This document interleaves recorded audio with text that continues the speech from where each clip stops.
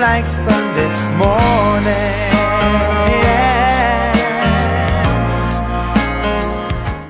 Hello, and welcome to today's broadcast of The Voice, the NAACP's The Voice. I have someone very exciting in studio with me today, and we have so much that we're going to talk about. I have in studio with me today a writer, a producer, a director, a composer, a community liaison, Barry S. McLeod.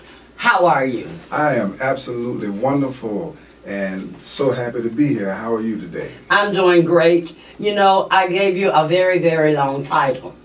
If I didn't know you and know of your work, I would probably think that's just an exaggeration. But I do know of your work. I've seen your work, I've seen you in the community, and I know that everything I said is absolute. Well, I certainly do appreciate that. You know, we've been working real hard over the years and um, it has accumulated, you know, so we've done a lot of variety of things and here we are. So uh, tell us, how long have you been in entertainment? Wow, I guess I would have to say that I've been in entertainment pretty much the majority of my life. I've been very active and pursuing it, I guess I, I would like to say from a professional standpoint for 30 plus years now. Wow, that is a long time. So tell me, why? Why do they call you Florida's own? Florida's own Barry S. McLeod. Florida's own Barry S. McLeod. Well- That's a tag you have. Yeah, I, I appreciate that question, and um, while I recognize that there's still a whole lot of people in the state of Florida that's still yet to meet me, uh, we have toured our productions here throughout the state of Florida. We've been as far south as Key West, and um, we've been um, uh, several places in, in north central Florida, and we've done Orlando, Tampa, um, of course Jacksonville. We've been down to Melbourne. We've St. Augustine. You know, so we've taken our productions on the road, and so uh, I think somebody somewhere along the way just said, "Man, you are Florida's own," and I just I just decided I would take that in the dollar. Yeah. You know? What I take, what that means to me is that you didn't come from somewhere else. No, I that am you're from Florida. homegrown I am own. homegrown right here in Gainesville, Florida. Very very proud of that. Tell us some of the things that you've actually written, that you've put together and taken on tour, and performed in the community. Well, a lot of people don't know it, but I, first of all, I've written, uh, I've written, I think, 16, 17 screenplays, Mhm. in which I almost got a movie deal for a couple of them, but it didn't happen yet. Um, but I've written uh, um, probably 16, 17, 18 stage productions, and I've also written four books. That is uh, very, very courageous. Because I know I'm still struggling trying to get the one, the one book that's in me, out of me. Right. But what I want to ask you is most entertainers or people who are in the arts, they can tell you the second, the moment when they had the aha moment, when they became inspired to do what they're doing. Who inspired you? The one person, there's been a few people who who inspired me. I have to give credit to my good friend Elaine Slocum. Uh, by the way, her son is Tory Kittles, who plays in the television series Colony. But um, she's the first one who put me on the spot and say, stop talking about it and go ahead and be about it. In fact, she put it on my calendar. She said, I'm tired of you talking about it. I want it done by this date. But the one person who I want to give a lot of uh, respect and appreciation and credit to is the late uh, Professor James Jim Haskins. He's the writer of, I think, 100 plus books, but he also wrote the book The Cotton Club, in which he sold the rights to Francis Ford Coppola, who wrote the, uh, who produced the Godfather series. So um, he was the first person of his caliber to tell me that um, I had the potential as a writer, and um, and he reviewed my first screenplay, and he told me that it had some potential, and that was big for me coming from somebody like him. That's phenomenal. So, through the years and all that you've gained, that's how we come to what we- we're going to talk about today. Okay. House of Mnafiki. Yes. yes. What does that mean? What does that name? Mnafiki is a Swahili word that means hypocrites. I knew that I wanted to write a story that was about a whole bunch of hypocrites who were power struck and who were very successful, and I knew that I wanted them to be on different levels in society. I wanted them to be from Wall Street all the way down to the hood. I wanted to deal with the, the brilliant minds that actually know how to make lots of money and stay under the radar where they need to and, and, and not be incarcerated. So we know that the world is full of a lot of people who make money and they make money however they make money. Right. But I wanted to deal with these power struck people and I needed them to be hypocritical people. And so I didn't want to use the word hypocrite, so I found this word mnafiki. It's a Swahili word. It means hypocrite, and I just love the way it sounds. I love the way it looks, when it, the way it's spelled, and that was just like perfect for my title. Yeah, it's certainly ear catching because when you hear it, immediately you say, I'm going to find out what this means. Yeah. Because he's saying something with while he's saying something. Absolutely. And so, now I've seen House of Mnafiki. hmm I've seen it, and you have some impeccable actors who are participating in this. hmm And one thing is, I can say, if your objective was diversity, you have achieved it Thank you. because you have achieved diverse actors who really portray their characters well. Some of them make us want to choke them. Uh, And so that, you know, when they can arouse in us right, those type of emotions, Right. then you got it. right. So let's talk about your characters. Uh, uh, what I did with episode one was I introduced the characters to everybody, and I gave you the gist of what their worlds are about. Mhm. And and as this story unfolds, their worlds are going to collide, and that is going to be quite a big event for the, for the story. So basically, I introduce these characters, and as these characters begin to uh, evolve, some of them are going to um, uh, no longer be a part of the show because the show is going to grow, the strength of the concept is going to grow, and some of these characters are not going to survive all of that. Right. So um, you'll see some, some changes as the episodes go by. And you're right, we have some phenomenal actors in this production. And what I love and appreciate so much about that is that uh, across the board, uh, uh, we, we see actors in film and, and, and getting awards and stuff, and, and they and they deserve it pretty much. And we have actors of that caliber, you know, who deserve awards and deserve to be recognized in the mainstream as well. And they're really br- making this show work uh, according to design. Okay, let's talk about who are your main characters. And what I mean by that is, even though shows are developed and they grow, some people always stay. You know they won't get shot and killed Yeah. because they're the mainstay. The main, that starting with the main two, we have Granny, who's played, played by Barbara Walker uh, Jones, and uh, and we have Sam Beatty, who is her son, played by Russell Wil- Williams, and and, um, and and and and Granny is nothing nice, believe it or not. You can't let the name fool you. And so there's a lot of things that's going on between her and her son, who just got out of prison after 35 years. And he wants to redeem himself and do well by his mother. Now, Granny has a sister who they grew up despising each other, played by the uh, fantabulous uh, Felicia Walton. Her character's name is Lisa Lane.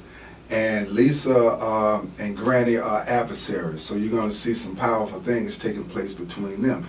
And then uh, you have yours truly here, who is just coming into it, playing uh, uh, investigator Todd Herman. We also have um, uh, uh, Latanya Van Hammersville, who's been around for a long time doing a variety of things in theater, and, and she's done some film as well. And she's super, super talented. She and she's, sure is. She's playing Milan uh, Zanel, who is a corporate executive of a of one of the top financial companies in the industry. Very, very powerful role. We have Monique Wilkes, who's playing her secretary. And what's so interesting about her, the secretary, whose name is Rita, they call her the sweetest Rita. Um, she see she she's that person that like a fire hydrant. You don't really see her, but I guarantee you, when the fire uh, gets to blazing, you need a water line to, to help you. So that she is a very significant character, and she's going to play a very uh, uh, uh, significant role in this in this story. We have um, uh, those are going to be our main players uh, for the most part.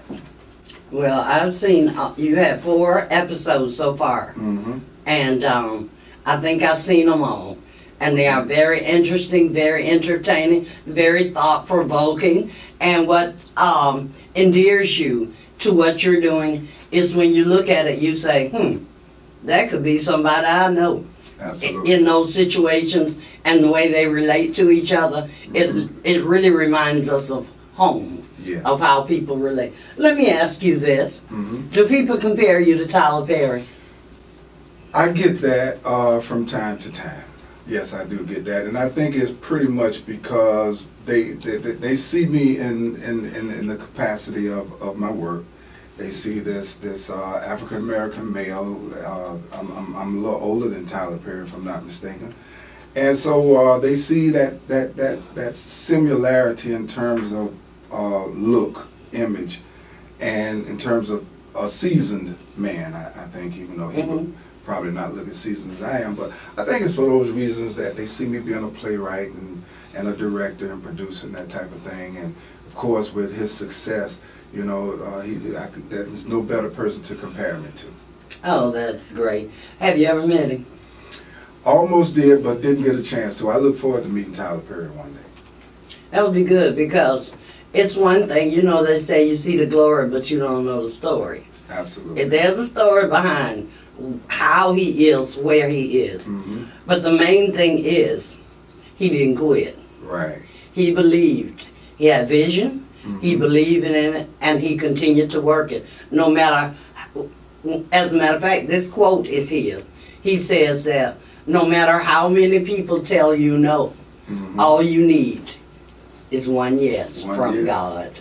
That's all. The one yes from God outweighs all the other no's. Absolutely. So you keep listening for the one yes Absolutely. from God. And um, so, in your mind, where is this going? What is the storyline? The story is about, like I say, these power-struck people who are, uh, uh, they're chasing the same. They don't know it, but they're actually chasing the same stream of money. hmm Oh, And, and, and in the end, only there's only going to be one victor. And you know, when you're dealing with money and people who have so many uh, capabilities, you know, uh, it, it's going to get a little dangerous. So, uh, unbeknownst to them, they're, they're, they're, they're chasing after the same stream of money, and they're going to collide, and that is going to be quite a collision. That's where this story is going. okay. We're talking about House of Mnafiki. Tell them how they can watch this. Um, House of Mnafiki right now is a web series, and they can go to uh, the BSM network at barrysmcleod.com, and they can also watch it uh, on YouTube. Uh, just YouTube, House of Mnafiki, and while you're there, please subscribe. I also uh, want to make sure and, and do uh, uh, diligence to my co-producer. Uh, he is a fantastic uh, uh, a guy by the name of Lord Ellis Jr. He owns Q On Track Entertainment, and he has been very, very instrumental in producing House of Mnafiki. So I want to uh, make sure and acknowledge him as well. Okay, that's great. Um, another thing I wanted to cover with you is you have a play coming up, right? Yes, I do. Let's talk a little bit about the play.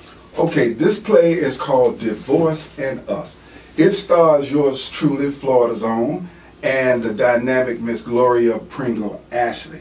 Phenomenal actress. Mhm. Uh, and this story is about a, a separated husband and wife who meet to discuss their, uh, their divorce in what is supposed to be an amicable manner.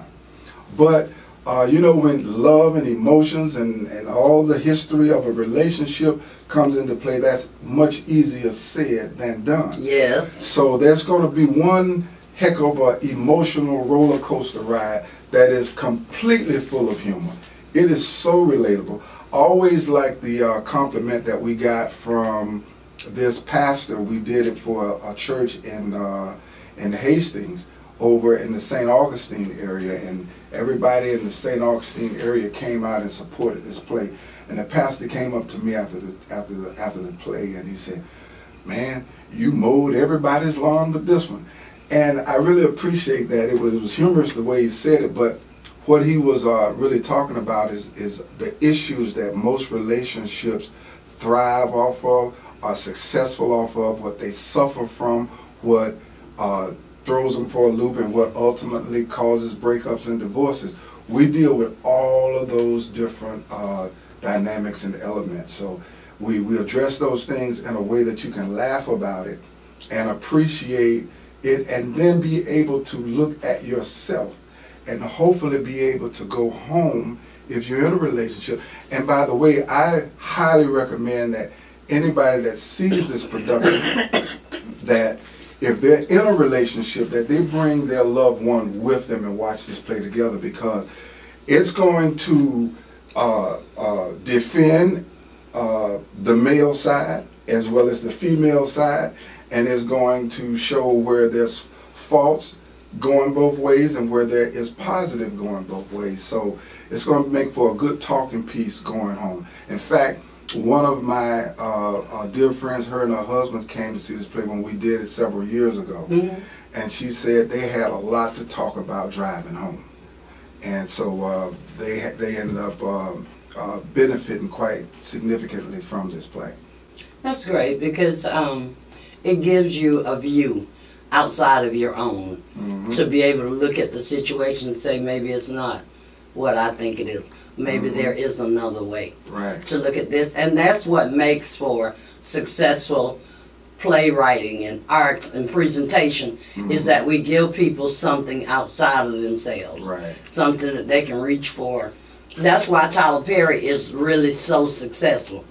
Because the stuff that he put on the stage, we can laugh at ourselves Right. and our families and our communities. Right. And, you know, so because we can see ourselves, Mm-hmm. he is successful at that. Mm-hmm. And and I think that's what this play will do. That's the feel of it from what you're saying.